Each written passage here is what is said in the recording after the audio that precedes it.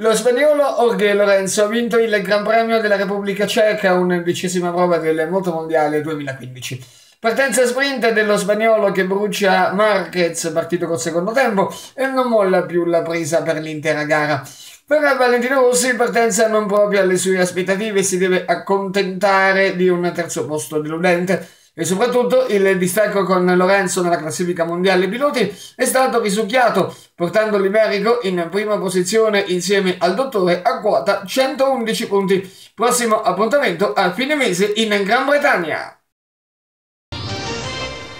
La stagione 2015-2016 di Speciale News si presenta particolarmente importante. La testata web TV diretta da Mimo Siena si presenta ai suoi telespettatori con importanti novità e soprattutto di informare a 360 gradi partendo dalle edizioni del telegiornale, le due consuete, quella del mattino con Nuovo Giorno alle 9 e poi i fatti del giorno nella edizione della sera alle 19.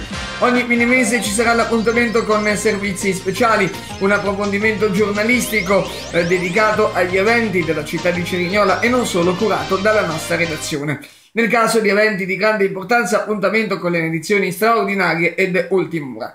La parte più importante sarà quella dello sport con un intenso programma partendo dal TG Sportivo Sport Report ore 13 che andrà in onda dal lunedì al venerdì con la panoramica quotidiana di tutti gli eventi dello sport.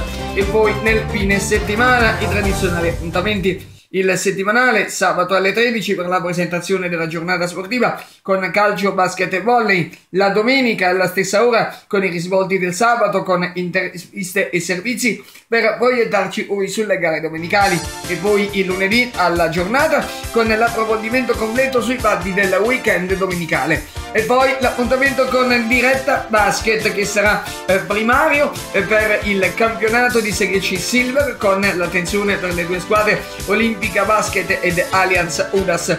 Doppio appuntamento con orario da definire per il sabato e per il lunedì con speciale news, il cuore dell'informazione a 360 gradi sempre.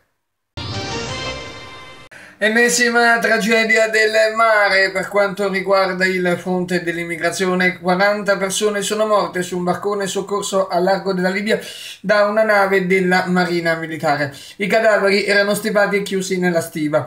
Bisognerà capire se le vittime sono morte per il caldo o per i fumi del motore del barcone.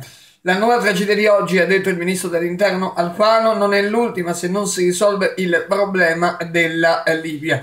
Sono 103.000 i migranti sbarcati in Italia dal 1 gennaio ad oggi, un migliaio in meno rispetto al periodo dello scorso anno.